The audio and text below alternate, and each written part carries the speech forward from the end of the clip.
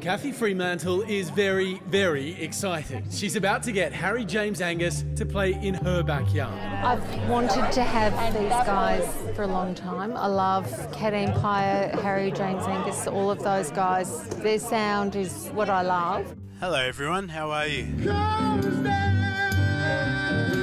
Kathy's never met Harry or the band before, but she's arranged the night through an online service called Parlour Gigs. It matches musicians with fans who are happy to offer up their house as a venue.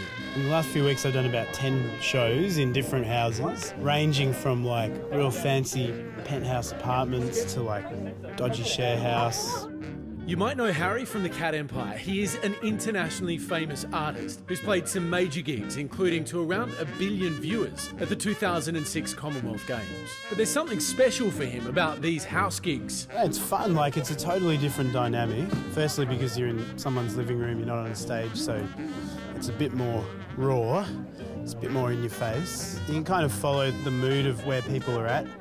And these are the guys who've made it possible. We really started it on a hunch, you know. Would somebody buy a ticket to their friend's house to see an artist play? We had to trust that that was something that was going to happen. Having both played music, we wanted to build a platform for musicians. We wanted to know how much we were going to get paid, who are we playing for. We want people to listen to the music. We don't want to play in pubs where people are getting pissed and talking and doing other things. You get to engage with the artist. You get to hang out with them, have a drink with them after the show. I think that's a huge part of why people want to do this.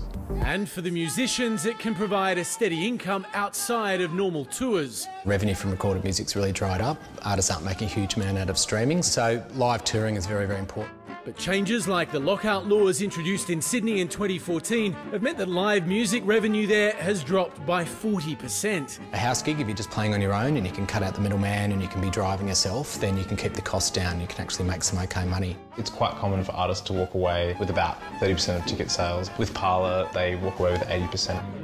The host putting up their house as the venue is responsible for selling the tickets to their friends. Because each show is being crowdfunded, each host has to reach a certain target in order for the show to go ahead. So before an artist leaves the house to play a show, they know exactly what they're going to make. The vast majority of the musicians using the service are acoustic acts.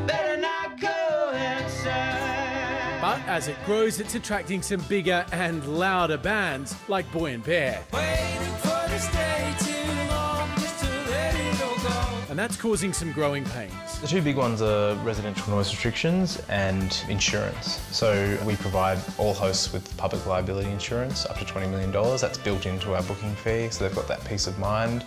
Dealing with the neighbours is potentially a bit more tricky. Certainly Kathy Fremantle was a bit nervous before her gig. I was a little bit, but we're a bit lucky here, we're a bit spread out, so they hoped really well.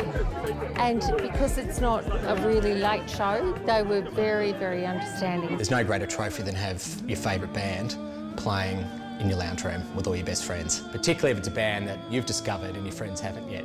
And each of these house gigs seems to have at least one special moment.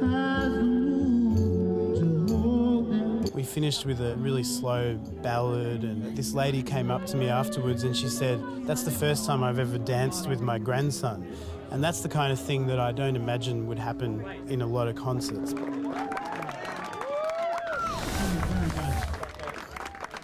and what a lovely slow dance.